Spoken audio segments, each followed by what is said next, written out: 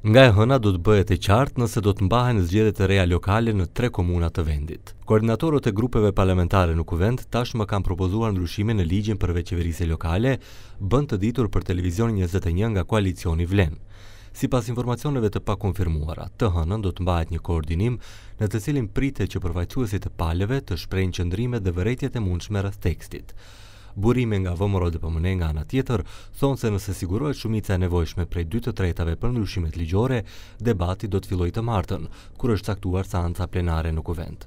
Për këtë ligj, përveç tetëdhjetë votave pro, nevojitet edhe shumica e Badenterit dhe tani për tani ndryshimet ligjore kanë mbështetjen e sigurt të shtatëdhjetë e tetë deputetëve. Koalicioni Vlen njoftoi ndryshimet ligjore në Ligjin për Vetëqeverisje Lokale që të mos ketë zgjedhje të parakohshme në komunat, kryetarët e të cilave do të kalojnë në pushtetin ekzekutiv dhe legjislativ. Fjala është për Gostivarin, kryetari i të cilit, Arben Taravari, do të jetë ministër i Shëndetësisë, pastaj për Aerodromin, sepse pritet që në karrigen ministrore të Ministrisë së Jashtme të ulet Timço Mucunski, e po ashtu edhe për Sarajin, sepse kryetari Blerim Bexheti nga BDI do të vazhdojë karrierën e tij politike si deputet. Propozimi parashikon funksionin e ushtrimit të detyrës kryetar komune, i cili do të menaxhonte komunën deri në mbajtjen e zgjedhjeve të rregullta lokale. Ushtruesi i detyrës do të zgjidhej në Këshillin Komunal.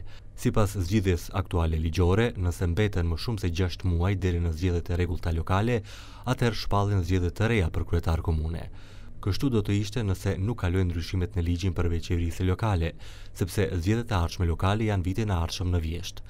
Koalicioni Vlen propozuesi i ligjit shpreson që ndryshimet të miratohen para votimit të qeverisë së ardhshme që pritet të bëhet fundjavën e ardhshme.